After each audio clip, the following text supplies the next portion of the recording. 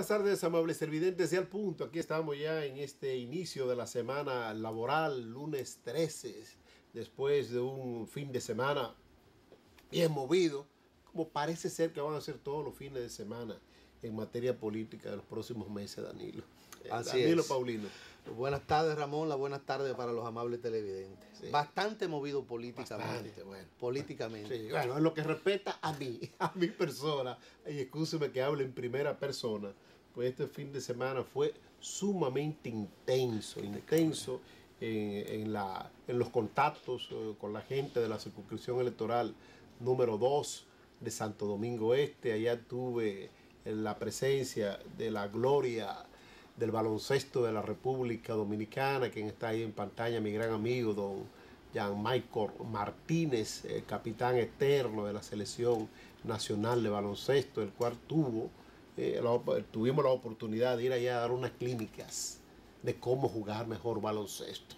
Eh, los muchachos eh, del club de Framboyán y aquellos olvidados, oigan el sector, como se llama, de los cartones en Vietnam, en los minas, tuvieron la oportunidad de recibir instrucciones, orientaciones de un gran vencedor, de un gran luchador, de un triunfador en el baloncesto eh, internacional, no solo aquí en República Dominicana. ¿Él jugó en la NBA?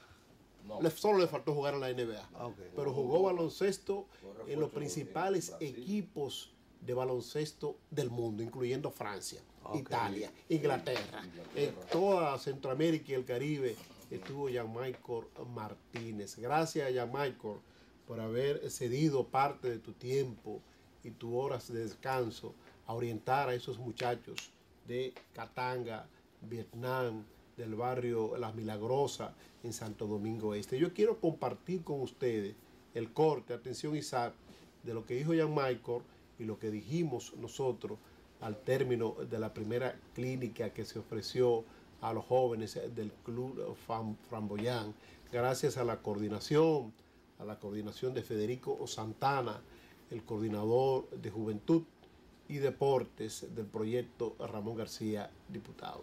Adelante, señor director. Hacer un pequeño aporte eh, para el desarrollo del deporte, para las buenas prácticas deportivas, para jugar mejor baloncesto, ocupando un tiempo precioso de nuestro gran amigo, ya Michael Martínez, la gloria, una gloria del deporte nacional, el capitán eterno de la selección nacional de baloncesto, No pueden descuidarse de los estudios, es lo más importante. La educación, esa formación en los estudios, donde tú puedes aprender, donde tú te desarrollas individualmente. De ahí viene el deporte. Ustedes ya se metieron en una cancha a jugar baloncesto. Pues tienen que tomarlo en serio. Tienen que aprovechar absolutamente cada segundo que ustedes están en una cancha. imágenes eh, de los jóvenes de diferentes edades que se dieron cita a este importante evento. Eh, Danilo. Así es. Qué bueno, qué bueno que el señor Yamalco, ¿qué se llama? Se llama Michael Martínez. Sí, Sí. está, eh, pues bueno, dándole práctica en este tipo de deporte, en el baloncesto, a estos jóvenes. Y por qué no, qué bueno que está apoyando las aspiraciones del colega Ramón García, quien está presentando o está llevando su proyecto político en la circunscripción número 2 de Santo Domingo a todos los rincones de esta gran circunscripción. Sí, sí, sí, sí. De manera que mi parabién y le deseo mucho éxito. Y con una, y con una forma, escúchame Danilo, diferente de hacer política. No, claro. Eh, porque no buscamos solo la adhesión, sino buscamos la integración en los puntos básicos, salud, deporte, educación, eh, solución a problemas comunitarios, ahí estamos nosotros, pero de manera diferente, no promoviendo el clientelismo, porque entendemos que no es lo más saludable. La fundita, los 200 pesos, eh, eso hay que dejarlo atrás. El salami, eso, es- eso no es hacer política. La política se desarrolla con propuestas, Así es. eh, llevando soluciones a la colectividad, ni siquiera individuales, a la colectividad. Ese es el trabajo principalmente de un legislador en la parte que tiene que ver con la representación.